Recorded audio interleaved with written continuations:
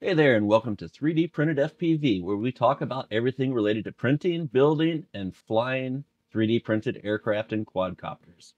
Hey, give me a subscribe or a thumbs up, would much appreciate that. I'm trying to grow this channel and need all the support I can get. All right, buckle your seatbelts. All right, crew, if your extruder's popping, skipping, slipping, or clicking, this is your ultimate guide to fixing it. So let's get straight into this. This is a K1, K1 Max. Um, first thing we're going to do is pull this cover off the back of the extruder. This thing hinges up there, kind of the motion I made with my hand. You click it off the bottom and it comes right off. Um, no surprise there. The next thing we've got to do is remove these four screws, three screws, I mean. Um, there's two on the right side there, one on the left side. And of course, we've got to pull the tube out here. Uh, you just do that by depressing the white ring and pulling up on the tube itself. All right, so let's get this extruder off of here. Um, First thing we're going to do is get that uh, tube and the filament out. Just remember you have to have your nozzle heated um, to be able to pull that filament out and you've got to have the release lock off your um, extruder gears there to be able to pull that out. So no surprises there, pretty easy. Um, this just takes a uh, Allen wrench. Um, yeah, give me a thumbs up, that's right. Um, to pull off these um, three screws this is a pretty quick process. Um, won't bore you here. I do like to loosen all the three screws as you see here before I fully loosen everything. I feel like it just uh, doesn't put as much load on the entire system. And you'll see I do that everywhere. Basically pre-tighten, then final tighten or pre-loosen and completely loosen everything. Um, I'll kick this into warp drive here while we take these three screws off and then uh, we'll get going again.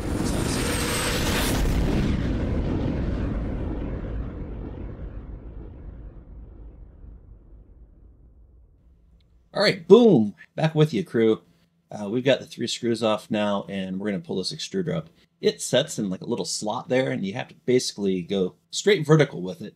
What happens is the uh, stepper motor wires start to bind up on you, and it's kind of tough to get out that last little uh, bit. And then you see where I'm pointing there with the uh, wrench. That uh, lines up and takes the place of the Bowden tube and keeps the uh, filament headed on down into the print head itself. So the next step here is uh, taking these two screws off that actually uh, hold the stepper motor on. So again, I like to loosen these up a little bit and then fully um, loosen them up and pull it off. I just feel like it uh, reduces the load and stress on this.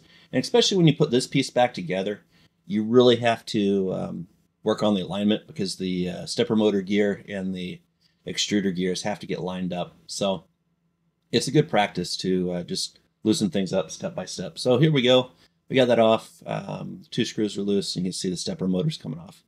All right, so let's take a look at these metal gears we're going to put in. Um, these are available via the link down in the description.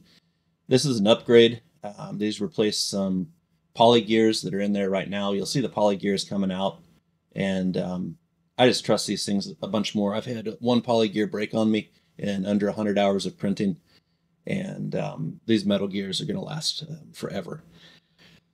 So, um, yeah, unpackaging these, they come with uh, nice bearings in them and some uh, nice stainless hardware there.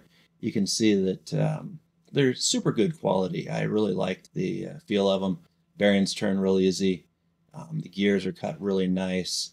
Just uh, overall a good quality product. I would really recommend that you upgrade your printer with these.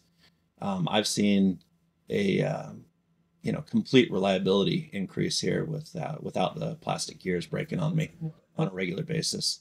But um, I do print a lot and uh, print a lot of filament that's uh, high pressure to push through the nozzle and have a pretty long feed pathway. Okay, so let's get into this thing. There's one of the mounting points. There's the other mounting point. That's the unlock. You can see the cover just pops right off of this thing. So you can see the poly gears in there. And if you look closely, you'll probably be able to see a poly gear that's broken. So first step here, um, take our Allen wrench and loosen up this left screw. And um, this particular one was quite tight. I actually was looking at this thing to see whether I was going to break it or what was going on. But um, I think it possibly just had maybe a little bit of uh, either melted plastic from the manufacturing process or perhaps um, the uh, screw itself maybe had a little bit of Loctite or something on it. And um, you see me there, I actually uh, forgot to review the bearing when I uh, unboxed or unpackaged everything there. So no secret here. Um, just loosen up these two screws that hold the uh, plastic gears in and um, replace with the uh, new metal gears. So we'll fill, watch this one all the way through and then uh, I'll kick it into warp drive again and uh, move forward. No secret too, you have to be careful that little spring where my thumb was there. Uh, make sure that guy doesn't pop out on you. That's part of the locking mechanism. And of course, you're going to want to put the uh, other hardware aside and use the new hardware. The heads are a little bit different on the metal set. All right, yeah, so this is going along well. You can see here I've got out one of the uh, poly gears. This one has all of its teeth intact. I know it's not the best focus there, but you can definitely see the teeth. The teeth are all intact on that one. But you can see how this is uh, this gear is half plastic and half metal. I just like the uh, the all metal version so much better. It's going to have so much more strength and uh, just you know one less thing to break, and definitely going to have better reliability in the long run here. Let's see if I can get this other gear off um, here in a second, and uh, we'll have a look at the broken tooth on that one. That's the one that had the broken tooth on it, I believe. And uh, I had a little bit of problems, like I said, getting this to loosen up. It did uh, end up breaking free for me, and um, indeed did have a, uh, a broken tooth on it, which was causing the extrusion problems that I uh, was experiencing. Like I said, I had some clicking noises occasionally and um, some under extrusion uh, here and there. So, all right, let's get at this uh, last poly gear and get it off. I had to put quite a bit of force on that. And like I said, I have a feeling that the uh, screw itself had some Loctite on it or something like that beforehand. But um, it did end up breaking free and coming off. It did not damage uh, the extruder whatsoever. So I was super happy with uh, how this turned out. And uh, as you see here, I had a gear or possibly two teeth that had cracked off of this thing. Um, again, the focus isn't perfect here, but you can definitely see uh, the section here that's missing the tooth. Right there you go. You can see that tooth right there is completely gone. And I actually did find the tooth in the case of the extruder. So if you've got tooth missing or teeth missing, um, clean out your extruder case there. It uh, it actually fell out when I opened the case and uh, I found it. So anyway, one tooth off, one tooth found, and uh, no tooth getting in your new gears. So um, yeah, from here, it's dead opposite of what we've just done. We're going to take these metal gears, we're going to use the new hardware, and we're going to reinstall this. Little inspection, just checking the uh, bearings there on the main drive gear. Just wanted to have a quick look at that, make sure there weren't any uh, plastic deposits back in there, anything like that. So here we go, dead opposite. I'm going to put this into fast forward. You probably don't need to see the uh, entire reassembly process the bearing there that I've got in my hand goes on top of the uh, main drive bearing there. Okay, I'm going to do a little fast forwarding and catch you on the other end.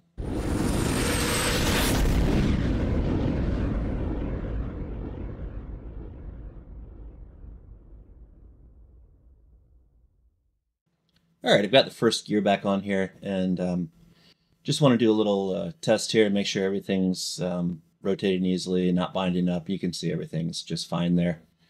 So with that done, I'll kick it into uh, warp speed again here, get that other gear on, and then we'll reinstall the overall extruder.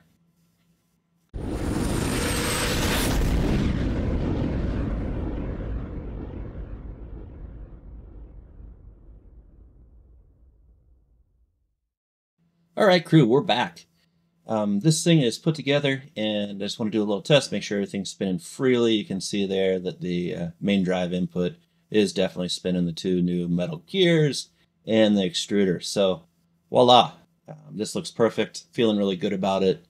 Um, ready to put the cover back on and then get this thing back in the printer. Uh, it's a good idea to test your locking mechanism there. Uh, you'll find this thing doesn't want to lock unless you've got this thing screwed together. Uh, there must be some geometry that changes a little bit. Uh, I was a little concerned with that the first one of these that I worked on, um, but have come to learn that uh, they don't really want to lock unless they've got some force on them. And that whole cover and everything is screwed back onto the um, stepper motor. So um, here we go. And I think we're ready to reinstall this guy. You can see now the lock's going to work. Okay, let's go to the machine and install this. All right, crew, we're back over to the printer here. You can see the stepper motor's hanging exactly where we left it. Um, really, there's not too, too much to this other than getting this uh, stepper motor lined back up.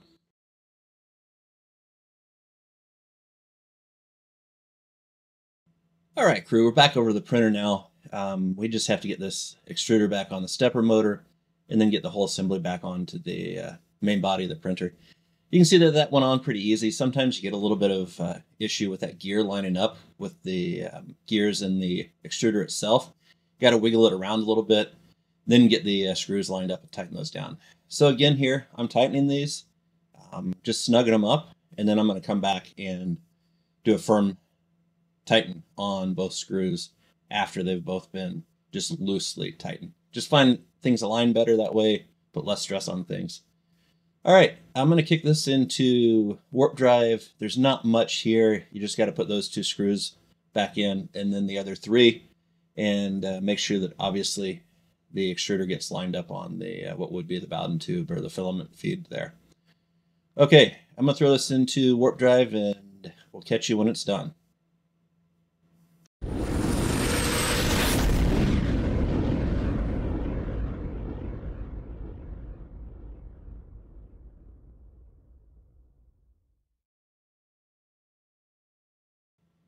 All right, we're getting near the end here now. The three screws have all went back in. It's just time to put the uh, filament feed line back in. Yeah, and give me a thumbs up. I'm liking this progress. Okay, um, let's throw this filament feed line back in and um, see if we get through the extruder and make sure everything's okay. Remember, you got to have your nozzle heated up here and you need to have the extruder unlocked, just like that. And we should be able to push all the way through the extruder and get down into the hot end and actually get some filament coming out here. I always like to uh, feed by hand a little bit. There we go. Filament's coming out, looking good. All right, that's how you fix your extruder and upgrade to metal gears. I hope you learned something today. Captain 3D out.